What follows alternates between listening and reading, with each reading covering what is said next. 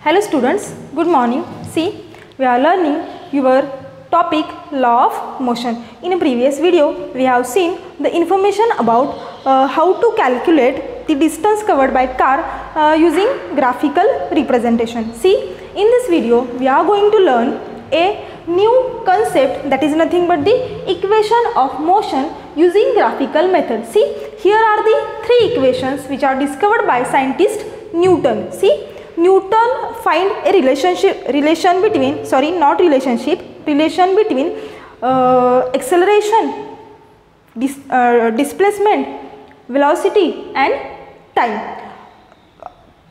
on the basis of these four point uh, uh, Newton found a uh, three uh, sorry three equations in that uh, in this video we are going to learn first equation that equation is nothing but equation descri uh, describing or the equation shows relation between velocity and time. Equation for velocity and time. What is the equation?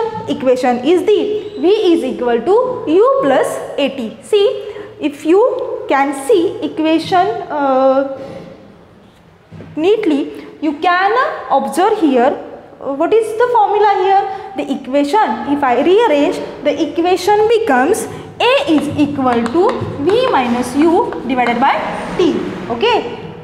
This equation i rearrange and rewrite here equation becomes see here is the v here also is v.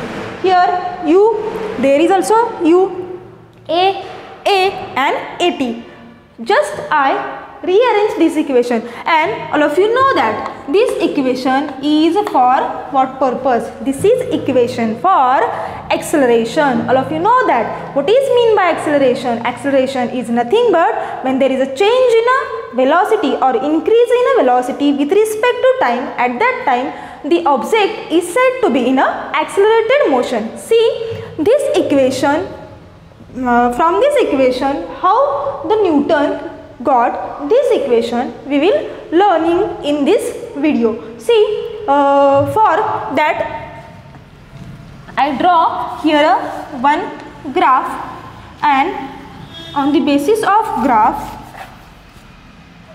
we will learn how the equation obtained or how the equation we get. See uh, this is the graph graph for what? Velocity and time. On x axis I write here the time in a second. All of you know that here is the x axis. And on y axis I write here velocity. Okay. After that see the object uh, it may be car it may be railway it may be yourself anything. Okay the object is in accelerated motion. Why i say here the object is in accelerated motion? Because the equation when i rearrange the equation becomes like this. Therefore i said here the object is in accelerated motion. The object is in or present in a accelerated motion. See when object present in accelerated motion there is a increase in velocity takes place. If there is an increase in velocity takes place there is a positive acceleration. And if the object moving in a uh, uniform uh, velocity then that time that acceleration is known as uniform acceleration. See consider the object a car here. And here is the steady position of car from this point car moving from point B. Here is the steady position means here is the zero velocity. After that when the car start to moving she uh, the car is a reach at this point this point is known as uh, this point is known as non-zero initial velocity why i called here non-zero because zero la at point 0 the velocity of car is steady or 0 after that when the car is starting moving the velocity is known as non-zero initial velocity. Non-zero initial velocity.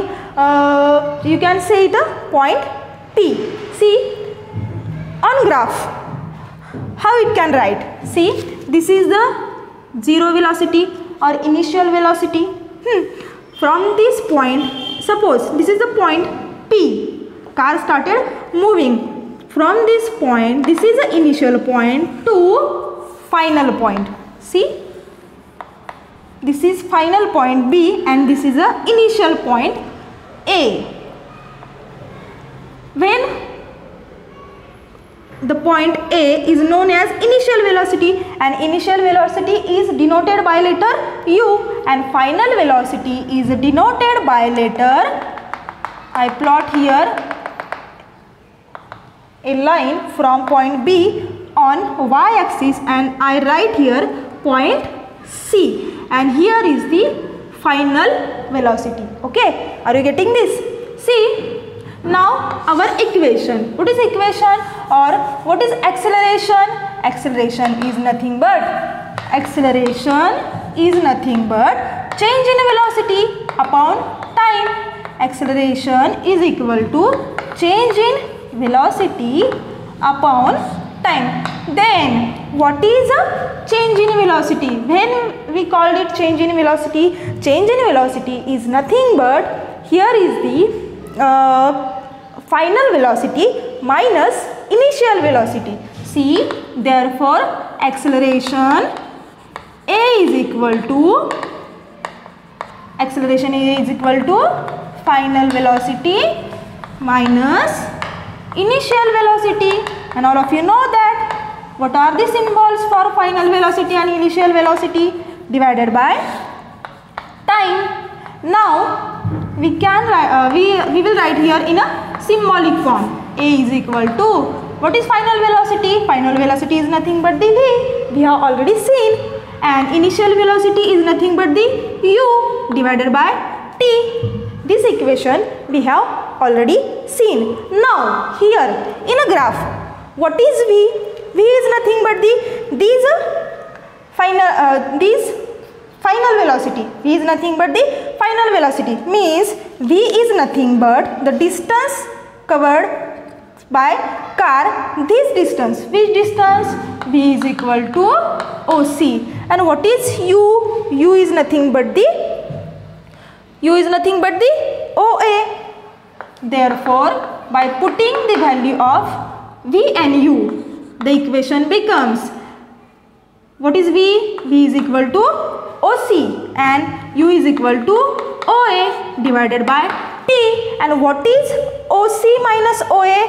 See OC sorry here is the OC minus OA is nothing but the distance CA. Therefore I write here A is equal to the equation becomes OC minus OA what I say here OC minus OA is the value of CA divided by T.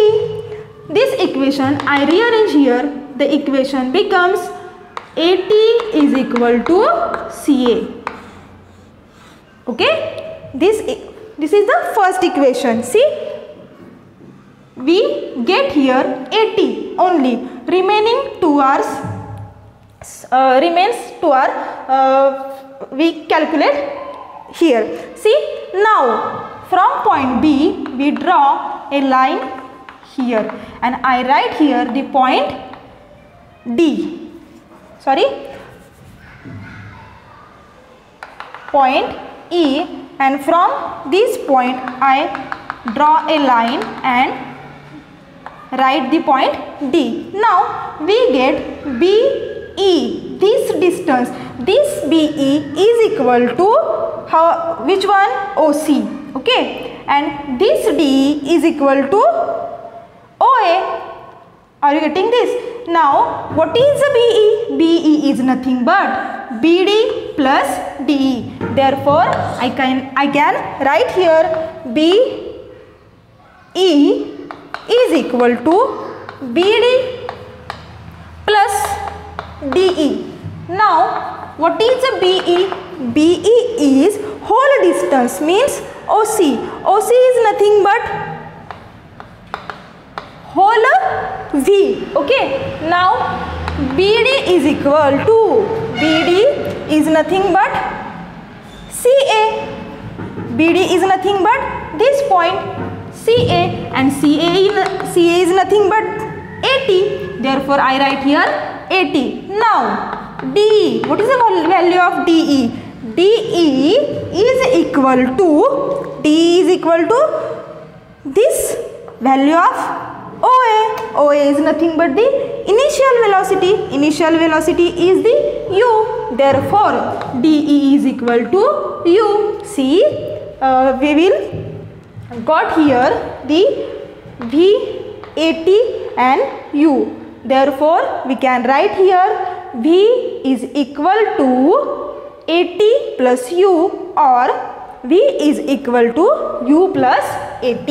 Therefore, I can write here V is equal to U plus AT and this is the equation number 1 for motion using graphical method described by or discovered by scientist Newton. Remaining two equation we will see in the next lecture. Thank you.